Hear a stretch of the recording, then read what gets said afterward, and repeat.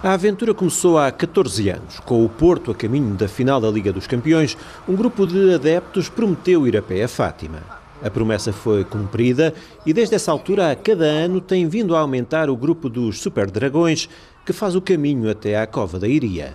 Este ano são mais de 30, muitos pela primeira vez, para agradecer a vitória no campeonato. Tinha feito no início da época a promessa que se o Porto fosse campeão que os iria acompanhar e depois falei com ela para, para vir acompanhá-los uh, nesta peregrinação. Isso aí, na, depois da festa do, do, jogo em casa com o Feirense, nessa madrugada, saí do Dragão direito para, para Fátima. Eu nunca estou cansado, graças a Deus, nunca estou cansado. Isto é uma fé, a fé que nos move por tudo.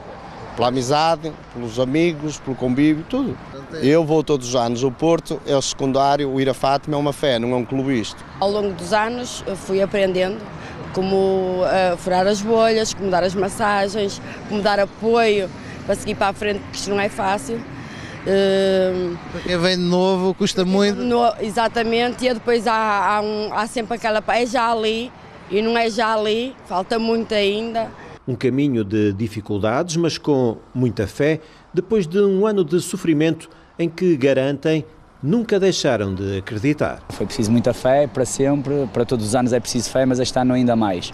Mas correu tudo bem, graças a Deus, e fomos campeões e aqui estamos nós e aqui estou eu para cumprir a promessa. E pelo Porto nós fazemos todos os esforços, e este é mais um, mas uh, desde criança que sou muito, tenho muita fé em Deus e na Nossa Senhora de Fátima e pronto, e também daí uh, fazer esta, esta peregrinação. O Sérgio devolveu o clube aos adeptos, transmitiu um espírito de, de, guerreiros que eles encarnaram, jogadores que estavam aí meios acomodados, jogadores que já não ganhavam há muito tempo. Isto não é só pedir a Nossa Senhora que nos ajude, uma pessoa depois tem que agradecer e vir aqui não, em, não é grandes promessas, mas mais agradecer do que uma promessa. Promessa, há muita gente que promete e não cumpre. Até Fátima são cinco dias de caminho, sempre com as cores do Porto bem presentes. Na bagagem trazem até t-shirts dos Super Dragões que vão distribuindo pelos peregrinos com que se cruzam na estrada.